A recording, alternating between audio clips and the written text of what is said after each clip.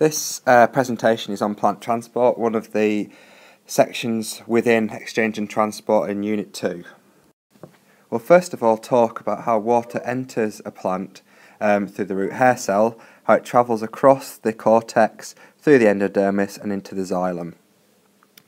Um, I've split the long answer question into two. There's a blue bit and a red bit.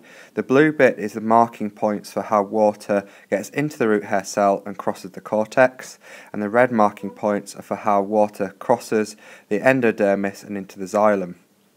They could be merged in one big question talking about um, how water goes right across the root and into the xylem. So first of all, we've got water enters through a root hair cell by osmosis.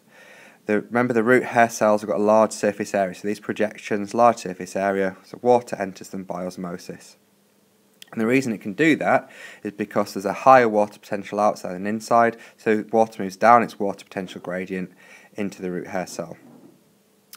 Water then moves across the cortex. So the cortex is a layer of many, many, many cells um, the water has to cross from the root hair cell to get to the endodermis.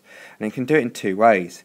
You can go through the cytoplasm between plasmodesmata, remember the gaps that occur in between uh, the cell walls, so you've got continuous cytoplasm. So through the cytoplasm via the symplastic pathway. So water can move via the symplastic pathway, or it can go through the cell walls via the apoplastic pathway. Water has now reached the endodermis. So the endodermis is adapted to actively transport ions from the endodermis into the xylem. You get a really negative, very, very low water potential in the xylem. So you get a water potential gradient, so water can move into the xylem by osmosis. The fact that you are the fact that you are actively transporting ions into the xylem, creating very negative water potential. So water moves into the xylem by osmosis, helps to create root pressure, which pushes water a little bit up the plant, only a couple of centimetres. So root pressure is a reason why water can move a few centimetres up a plant, but to get to the top of a massive tree, that would not be enough to get water all the way to the leaves. So the cohesion tension theory explains how this can be achieved. So we've got the leaf up here, and this is in the leaf. These cells here are in the leaf, and this is a xylem in the leaf. This xylem is connected all the way down through the leaf, through this um, trunk of the tree, to the roots underneath the soil. And here we've got the root hair cell. So water will go from the root hair cell through the root, through the endodermis, into the xylem, up the xylem, to the leaf and then out of the leaf. That doesn't get you any marking points, that just shows where things are. These are the marking points here for a question. So, how does the, the cohesion tension theory work? Well, first of all, it starts off in the leaf, but the loss of water evaporating from a leaf. This creates a much uh, lower water potential in the uh, leaf cells because water has left them. So water evaporates from these cells, They've lost water, so they've got a lower water potential inside these leaf cells. As a result, you've got a water potential gradient going from the xylem, so it's high here, low here, so water moves across the leaf cells by osmosis. This draws water out of the xylem by osmosis. You then get this strange phenomenon. Within the xylem itself, all the way through the xylem, you have this continuous column of water. Each water molecule is joined to each other by hydrogen bonding through the xylem. So the water molecule tens of meters up will be joined to water molecules at the base of the tree, each water molecule hydrogen bonded to the next. So as water is pulled out of the xylem here, it's then pulling on all the water molecules behind it. This creates tension and the water is pulled up as a column and it's because of the hydrogen bonding that they can do that. Now you might think, well, why doesn't the hydrogen bonding break? Hydrogen bonds are quite weak. Well, it's because the uh, water molecules adhere to the xylem walls. It helps to stop the column from breaking. These graphs are very common. Um, so one variable is measured which can affect the uh, how quickly water moves through the xylem or moves through the plant. So first of all, you'd have to describe, so we've got the describe point here, the fact that the rate of movement peaks at 12 and then decreases. So why could that be? Well, we're looking at a light intensity here. So first of all, what must be causing the water to move faster through the through the xylem is that you've got more uh, transpiration. If you've got more transpiration, you've got more tension.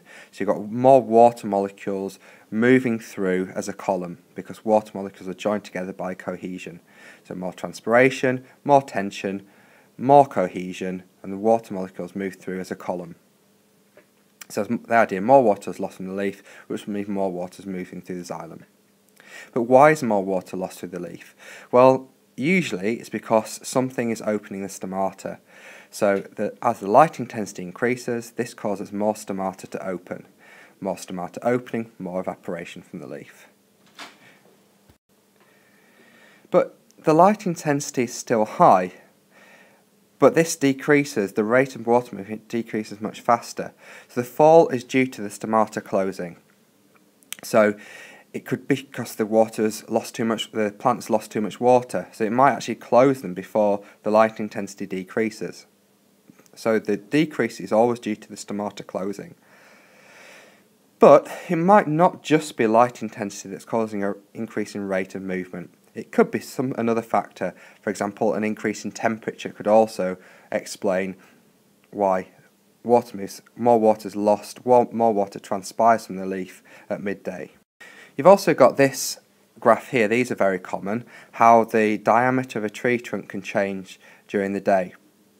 The idea being that more transpiration, so at midday, at noon, you've got a smaller diameter. So at midday, you've got a smaller diameter.